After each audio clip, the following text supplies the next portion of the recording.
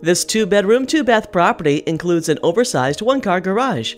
Interior exposed wood beams and a fireplace add character to this home, along with a newer AC unit, fresh exterior paint, and the roof was updated in 2018. A nice sized, partially fenced backyard and conveniently located to I 4 for easy commute. See you today with Mike Lightner.